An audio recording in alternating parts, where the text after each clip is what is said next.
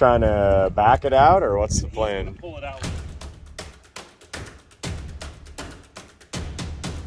Hey, Saturday, April 22, and we've got an active will it roll in progress.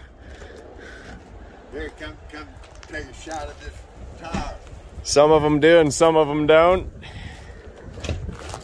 This one don't. Oh, carnage.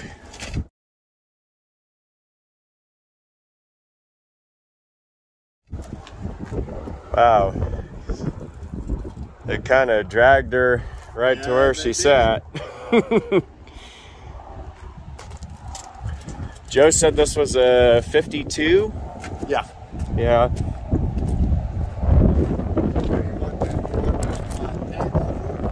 Oh, I'd stay with it. This is a big, big semi truck wrecker. So, little of the history of this. We're out on. Oh, that tag. Okay. Yeah, so. I thought you were meaning the license plate. 47 miles an hour for maximum speed. 17,000 pounds. Fascinating. Yeah, so this old thing, they had the salvage out here, and when they widened the highway, they moved the yard. And now you can see the yard's closed, and this is kind of one of the last remaining vestiges of the history and the operation. Old Rudy was a bugler in the Korean War, and then he survived that and came back to start the operation. And I'm sure this thing rescued a lot of semi wrecks off the highway. We had spotted it out in one of the abandoned properties, and it was totally pinned in. And now it's been moved to where it sits and sold at auction to this guy. And today's moving day. You see our uh, tow bar? I see your tow bar. This is a clandestine towing apparatus. We just have to hook it up to the truck. Yep. Trying to back it out, or what's the plan? Pull it out. Uh, Okay. Okay. First, we're gonna go look through tires and wheels. I've already found some good ones. Okay, let's look. I'm gonna go grab my gloves. I gotta peep the inside for just a minute.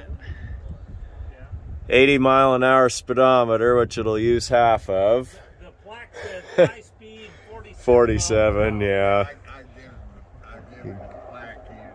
He's, And a 3500 tachometer that it'll probably also use about half of. Little semi jump seats in there.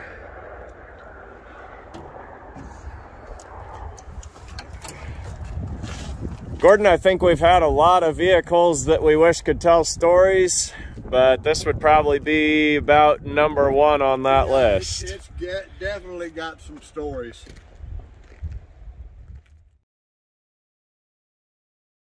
This video will be wrecker retrieval and junkyard picks. There's always a bit of rabbit holes on one of these deals. Uh, there was a part number.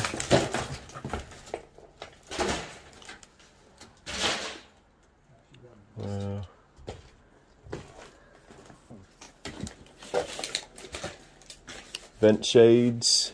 Four door sedan Fleetwood Brougham. 7079. Him? I think that's 80s Chevy pickup, but it's aftermarket. Oh.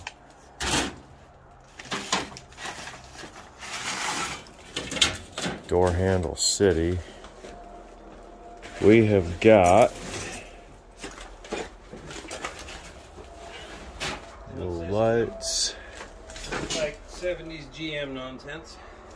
Uh, that should be Ford. Is there just one?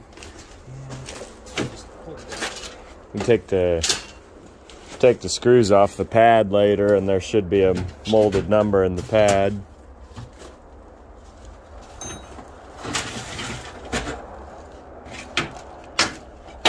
Dodge van. And there will be comments. The one guy just tosses stuff around.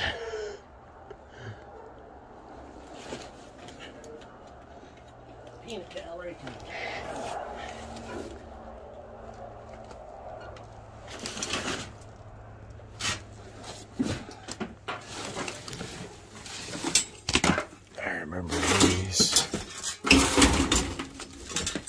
64 Plymouth headlight rings kind of hammered. Before he's in. Yeah, but this is a 64. This is wagon only Yeah, bring that. tail light. Put that right there. Guy in Newton used to have one of them. He drove around. Oh, I see something. What, 64? Yeah, 73 Impala and Caprice. Taillight lenses. Those are good. Oh yeah, the place has been pillaged. There's nothing good left.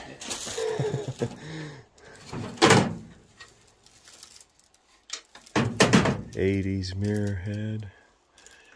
Yeah, so Rudy had a thing of going around the entire damaged freight shipments and other than my dad probably the single best set of salesmanship skills I've ever seen. Rudy. Salesmanship is in buying stuff or Uh like knowing knowing before he bought it who he was going to call and sell it to. no?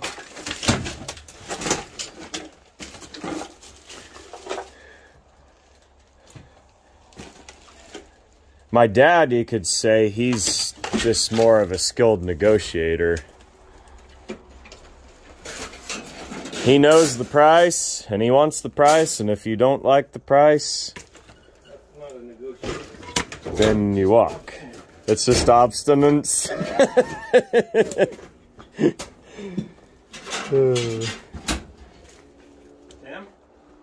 Uh, you're not gonna like it. you're not gonna like that one either. Where, where are they? 73 Monte Carlo and 78 Volare wagon. Jeez, what's the this? 73 Monte Carlo. You you like that one? It goes with your hat. Show them your hat. Oh, here it's the bill. That's your visor. Yeah. Take off your hat and show them that because it blends in too well. Yeah. See what we got. Yep. All right. Put them back on. Look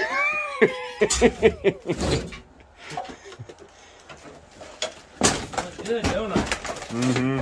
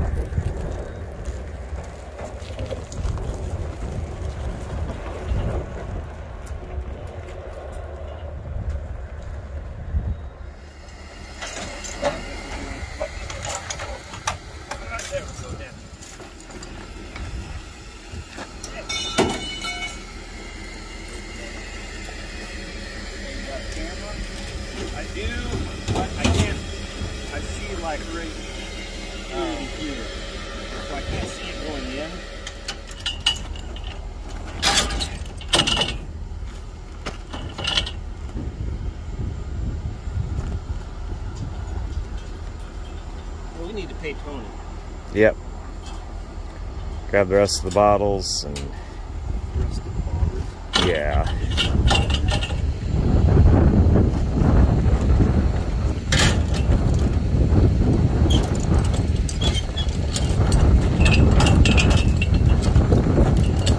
Uh, pull forward. Gordy, pull Yep. forward. Just take the, put some tension on it. Okay.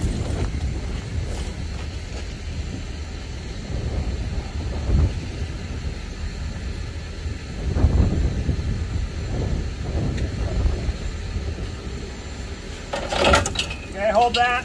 Okay.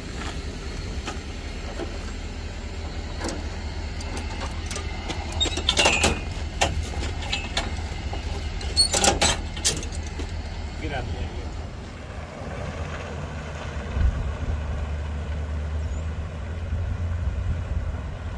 Well, I'll get with you sometime, yeah.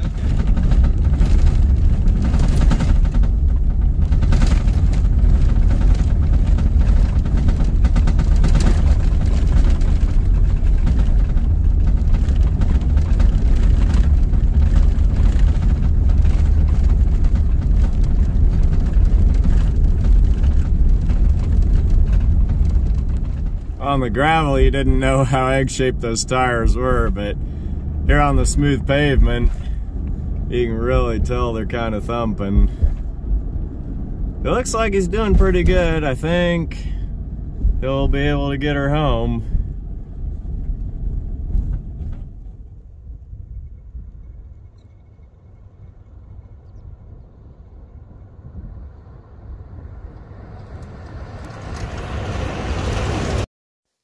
This was the start of a long trip fraught with several hazards, but Joe is the type of person who has an irrepressible spirit that just doesn't give up, and the truck made it home to join its friends in the row at the Rust Ranch.